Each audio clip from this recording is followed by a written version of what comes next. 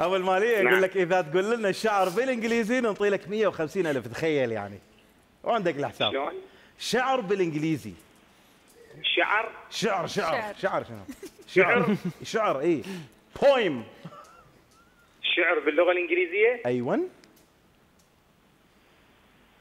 عمي ما لازم سويها دارمي بالإنجليزي يلا. توكل استنى أدبر الشعر. هسه على الاقل حتى لو بيت واحد هاي من عندي يلا والله ما يحضرني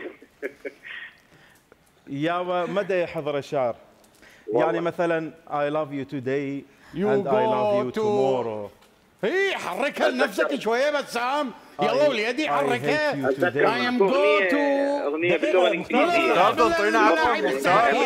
يا وليدي يا بسام دقيقة يابا نسمع ما I need your love الله. الله! اللهم صل على محمد.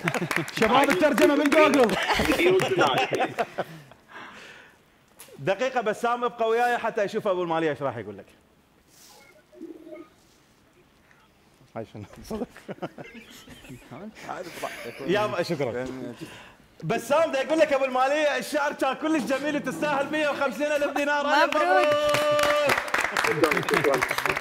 شكراً. على هيك أس... آه، كلش سهل. زين الأمور. ألف لك من 50 بيت شكرا جزيلا بسام على اتصالك وإن شاء الله تصرفهم بالعافية يا رب.